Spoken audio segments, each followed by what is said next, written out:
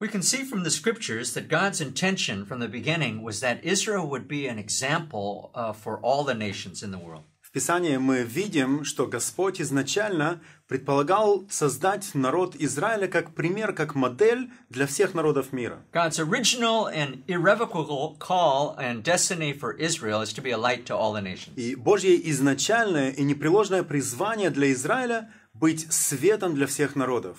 When God called to Abraham, he said, In you and in your family, all the families of the earth will be blessed. Призывая еще Авраама, Бог сказал, что в тебе нарекутся, в тебе благословятся все племена земные. So now, when Israel came out of captivity in Egypt, God chose them to be his kingdom. И когда Израиль вышел из египетского рабства, Бог избрал именно их для того, чтобы они стали примером Божьего We've Царства. seen how in Exodus chapter 19, God said to the children of Israel, Мы видели, как в 19 главе книги Исход Бог сказал народу Израилеву, You will be to me a kingdom and a, a kingdom of priests and a holy nation. что вы будете моим царством, царством для меня и царством священников. That means God became king of Israel in the desert, А это значит, что Бог стал царем Израиля в пустыне, and Israel became the kingdom of God. а Израиль таким образом стал царством Божьим. Now, what does that mean to be a kingdom of priests? Но что же это значит быть царством священным, царством священников? There are many things that we could say about this, А есть э, много того, что можно об этом сказать. but probably the first and most important is that it means there's no accidents in God's kingdom. Но, пожалуй, самое важное и самое главное состоит в том, что в Божьем Царстве никто не появляется случайно. That is, no one comes into God's kingdom accidentally.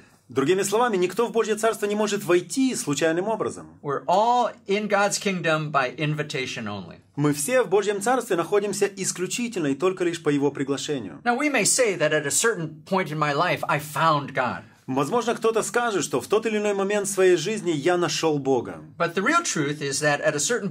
Lives. Но истина состоит в том, что в определенный момент нашей жизни Господь нашел нас. Me.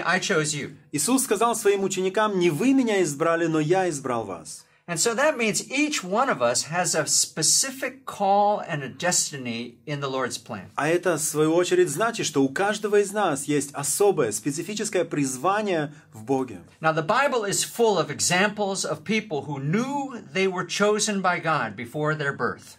В Библии, на самом деле, мы видим немало примеров людей, которых Бог избрал для себя еще до их рождения. The prophet Jeremiah says that God spoke to him about it. Пророк Иеремия говорит о том, что Бог сказал ему следующее. He says that God said to him, Before you were born, I knew you. Иеремия говорит, что еще до того, как ты родился, Бог сказал ему, «Я познал тебя». I chose you and I appointed you as a prophet to the nations. «Я избрал тебя, и я поставил тебя пророком для народов». King David had the same or a similar revelation. У царя Давида было похожее откровение. David writes in Psalm 139. В 138-м псалме царь Давид пишет, He says, God, you formed my inner parts. You, you put me together in my mother's womb. он говорит, что «Господь, Ты соткал меня, Ты создал меня в утробе матери моей. I will give thanks to you because I'm wonderfully made. Я в Тебе воздам хвалу, я славлю Тебя, потому что я чудно, я дивно устроен». Then David goes on to say this. И продолжает, Давид говорит следующее. He says, God, you saw me before I was before I was made. Он говорит, Господь, Ты видел меня еще до того даже, как я был в, в этот мир пришел, как я был создан. And in your book were written all my days before I had even lived one of them. И еще до того, как я прожил хотя бы один день своей жизни, в книге Твоей уже записаны все дни мои. It was revealed to King David that his his life had been planned before he lived it. Царю Давиду, мы видим, было открыто, что его жизнь, она была уже спланирована Богом еще до того, как он вошел в этот мир. The apostle Paul is another example of this. Апостол Павел является еще одним примером этого. He writes to the Galatians that he was set apart from his mother's womb to be an apostle. В послании Галатам апостол Павел пишет, что он был отделен, был поставлен апостолом еще от утробы матери And своей. of course, Jesus is our great example of God's planning before we were born. И, конечно же, сам Иисус является величайшим примером Божьего планирования жизни человека до того, как он еще приходит в этот мир. Мы знаем, что об Иисусе было сказано, что Он есть агнец, закланный еще до сотворения мира. So I believe looking at these examples from the scriptures, И я верю, что если мы смотрим, когда мы видим эти примеры в Писании,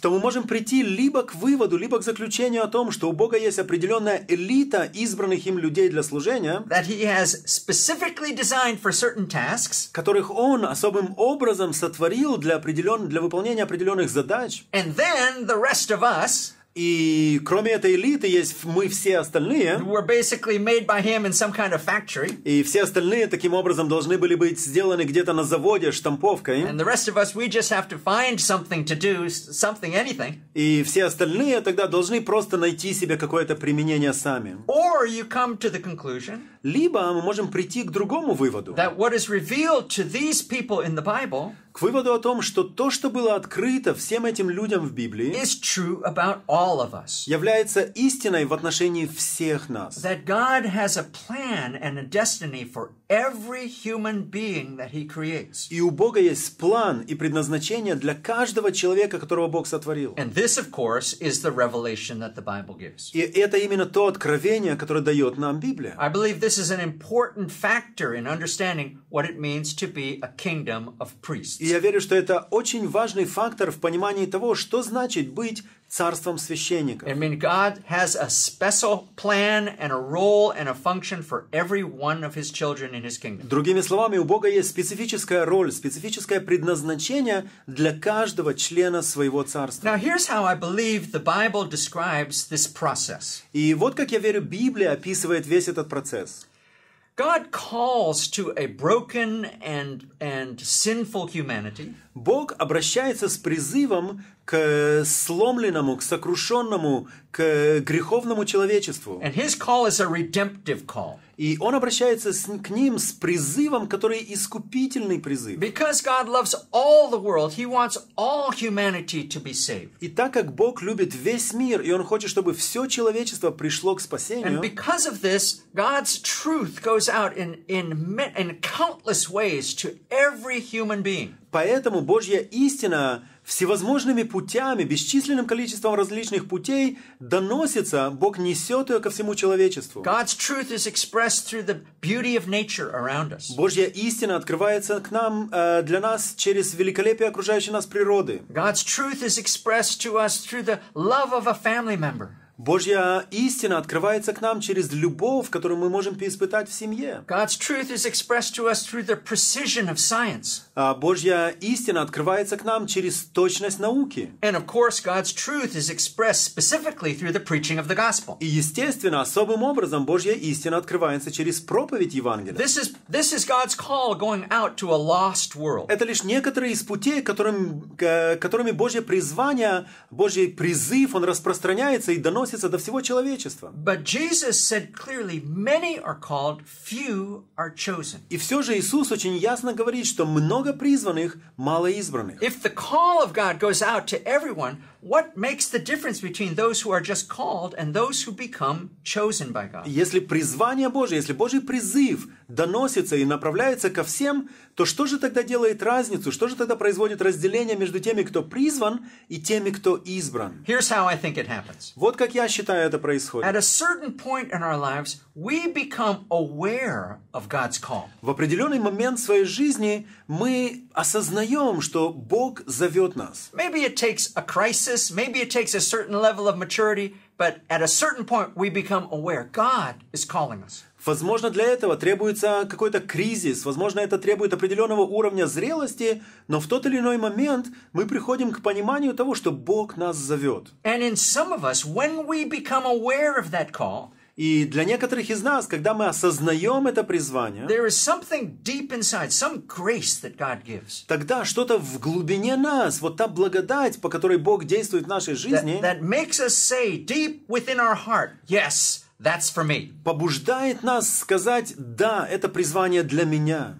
I will answer that call. Я отвечу на это призвание. And we begin making those, those decisions that start to turn our lives towards the one who is calling us. И тогда мы начинаем принимать целую серию решений, возможно, в нашей жизни, которая, через которые мы обращаем курс своей жизни по направлению к Богу. I believe that when we begin making those decisions and start to turn our lives towards God, я верю, что когда мы начинаем принимать эти решения, когда мы начинаем обращать свою жизнь к Богу, and this, of course, is by God's grace and because of His love, и все это непременно лишь по Божьей благодати и благодаря Его любви к нам, somewhere in that turning process, we pass from being just the called to becoming the chosen. где-то посреди этого процесса обращения мы переходим из тех, кто призван, в тех, кто избран. I guess basically I'm saying we choose to be chosen. Или другими словами, я мог бы сказать, что мы принимаем решение, мы принимаем решение быть избранными. Now, the Bible has a word for those who are chosen. И в Библии есть слово, которое описывает всех тех, кто избран. And the word in the original Greek language is ecclesia.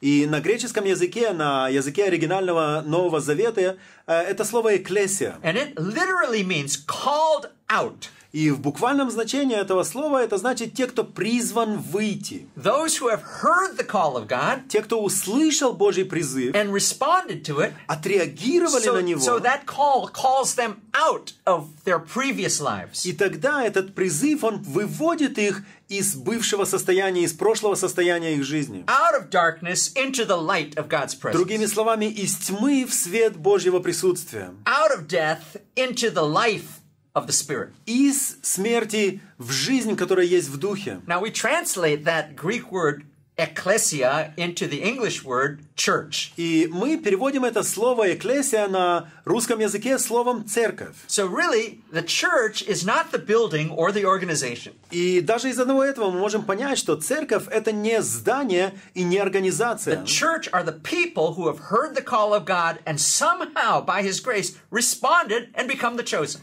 Церковь – это сообщество людей, которые по благодати Божией смогли услышать Божий призыв и отреагировать на него. Now, here is where our adventure with God really begins. И именно здесь наше путешествие с Богом и начинается. Because when we are among the chosen, Потому что когда мы находимся среди тех, кто избран, we start to learn all about God. мы начинаем изучать и понимать все, что касается Бога. Who is this one who's called me? Кто же в первую очередь тот, кто меня призвал? And eventually we begin to learn И в, э, в определенный момент мы начинаем понимать, that not only is He our King, что Он не только является нашим царем, but He is our Creator. но Он также наш Творец. And that He designed each one of us specifically. И как Творец Он каждого из нас сотворил уникальным образом. And when He designed each one of us, there was a plan in His mind and a dream in His heart for И когда, и когда Он творил нас, то в Его разуме был план для каждого из нас,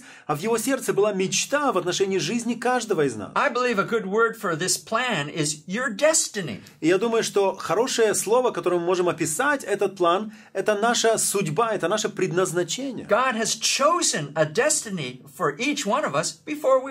И Бог дал каждому из нас предназначение еще до того, как мы родились в этот мир. Now, God will not force you, He will not twist your arm and make you live your destiny. Бог никоим образом не будет заставлять нас, Он не будет выкручивать нам руки для того, чтобы мы исполнили Божье предназначение в своей жизни. But when you become among the chosen and come into His kingdom, you have the opportunity to live God's destiny. Но когда мы становимся частью избранного народа Божьего, когда мы начинаем осознавать Его призвание в нашей жизни, это дает нам шанс воплотить это призвание в своей жизни. So we began to go to this God and say, what, what, was, what was your purpose in making me? Тогда мы начинаем приходить к Богу и говорить Богу, Господь, а какова же была Твоя цель в том, что Ты привел меня в этот мир? Why did you choose me? Почему Ты избрал меня?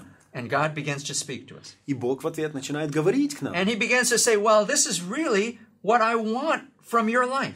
И начиная говорить, Он говорит, вот что я хочу видеть в твоей жизни, вот что я хочу делать в твоей жизни. Now, when we begin to hear this from God's voice, И когда мы начинаем слышать этот голос Божий and actually begin to do what he says we should do, и начинаем делать и исполнять то, что Бог говорит нам, there is an ability that begins to emerge from within us. то вдруг в нас начинает проявляться какая-то способность. As soon as you decide to do what God says and actually begin to take action, Как только мы начинаем делать то, что Бог говорит нам, когда мы начинаем предпринимать активные шаги в этом, you begin to find, hey, I'm good at this. вдруг вы начинаете понимать, а у меня получается. Even if no one else knew, even if you didn't know, Даже если об этом не знал никто другой, даже если вы сами об этом не знали. there's an ability that goes with what God is calling for you. У вас есть способность, которая соответствует Божьему призванию для вашей жизни. I call that ability your spiritual gift. И я называю эту способность вашим духовным даром. Your spiritual gift was designed specifically for you. Ваш духовный дар был изначально сотворен для вас и не для кого другого. Your spiritual gift was designed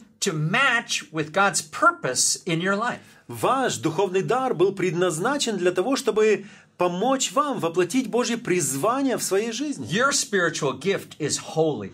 Ваш духовный дар – это святой дар. By that I mean it is set aside by God just for you. И когда я говорю о том, что он святой, я имею в виду, что он отделен Богом для вас и не для кого другого. No one else gets to touch your spiritual gift. Никто другой не может прикоснуться к вашему духовному дару. Only you.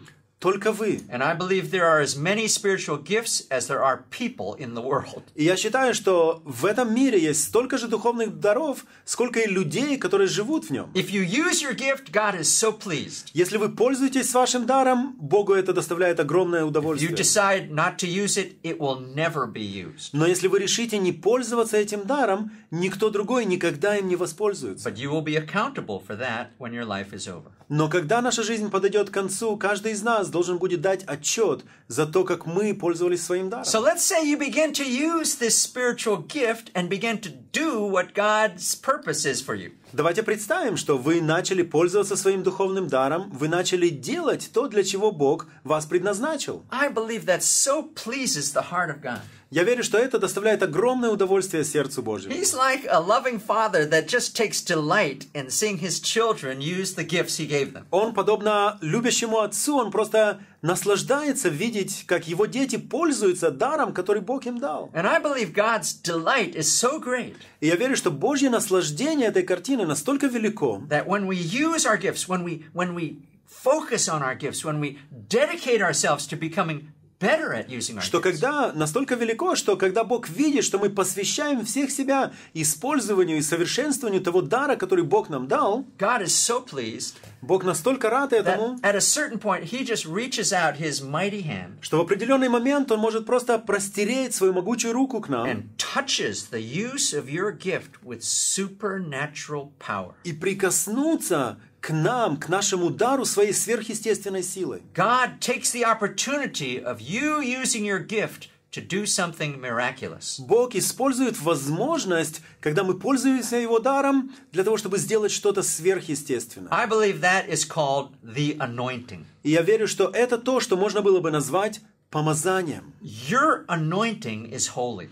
Ваше помазание, оно свято. It is only for you when you use your gift. Ваше помазание предназначено только для вас, когда вы пользуетесь своим даром. You can't have someone else's Вы не anointing, можете обладать или пользоваться помазанием кого-то другого, only your own. только своим. In fact, you don't want somebody else's anointing. Более того, вы вряд ли захотели бы воспользоваться помазанием другого человека.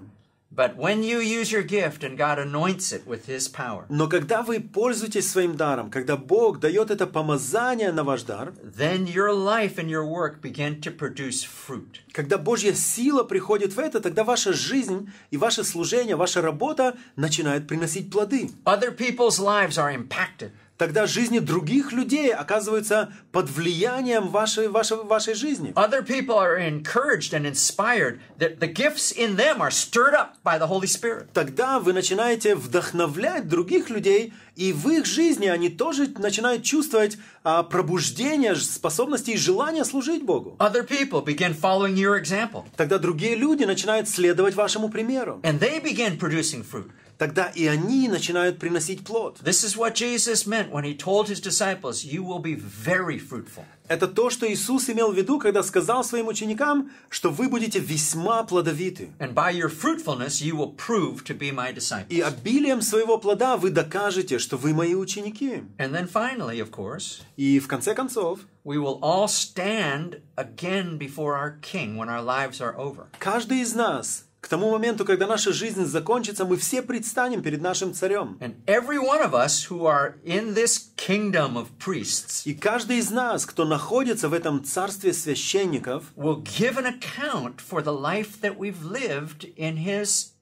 он должен будет дать Богу отчет за ту жизнь, которую мы прожили, жизнь, данную нам по благодати Божией. And of course, we're standing not only before our judge, but before our creator. И стоя перед Ним, мы будем стоять не просто перед нашим судьей, но перед нашим Творцом. He knows what he put into us. Как Творец, Он знает лучше всех, что Он в нас вложил. Therefore, he knows what he expects to have come out of us. Поэтому Он идеальным образом знает, что Он ожидал от нас в нашей жизни. On that day, it won't matter what we were called to do. В тот день, в день, когда мы предстанем пред Ним, к чему мы были призваны, не будет иметь определенного никакого значения. Whether we were called to work in a store, whether we were called to clean our house or raise our children or be a lawyer or a doctor. А были ли мы призваны к тому, чтобы работать в магазине, убирать дом, воспитывать детей, быть адвокатом или учителем? It won't matter what God called us to do, Неважно, к чему Бог нас призвал, but it will matter did we do it? Но будет иметь особую важность, сделали ли мы это, воплотили ли мы это призвание в жизнь. Some of us are gifted to raise children. Некоторые из нас особым образом одарены воспитывать детей. Some of us have been called and gifted to raise up businesses. Другие были призваны и одарены способностью поднимать и строить бизнес. Some of us have been given gifts and a calling of creativity. Другим были даны творческие дары. Others to work in companies, others to, to serve in ministry. Другим были даны работы в той или иной компании или служить э, в общине. God has as many callings as He has people. У Бога есть столь много призваний, сколько и людей на этом свете. But on our day of judgment, Но в день суда we all want to hear the Lord say the same words. мы все, я уверен, хотим услышать от Господа одни и те же No слова. matter what He called us to do, Вне всякой зависимости от того, к чему Он нас we призвал. just want to hear Him say, Well done. Все, что мы хотим услышать, это «молодец». Well done, good and faithful servant. Молодец, добрый и верный раб. You were faithful over a few things. Ты был верен в малом. Now come into the joy of your Lord. Теперь же войди в радость Господина твоего. I'm going to make you faithful over many. Я поставлю тебя теперь над многим. Now, this is one aspect of being a priest in God's kingdom. И это лишь один аспект того, что значит быть священником в Божьем This Царстве. is one of the, of the important things we learn from the beginning when God chose Israel to be his example of his kingdom. Это одна из тех важных вещей, которые мы сразу с вами понимаем и видим, рассматривая пример Израиля, призванного быть моделью и образом Царствия Божьего на земле. There are many other vital and important things we learn about God's kingdom. В отношении Божьего Царства, тем не менее, мы можем понять и познать много других важных и жизненно важных а, принципов. When we begin the story at the beginning Но все это мы понимаем, если мы смотрим историю Божьего Царства с самого начала. and look carefully at God's purposes in choosing Israel as his example. Внимательно рассматривая Божьи цели в избрании Израиля как своего примера, как своей модели.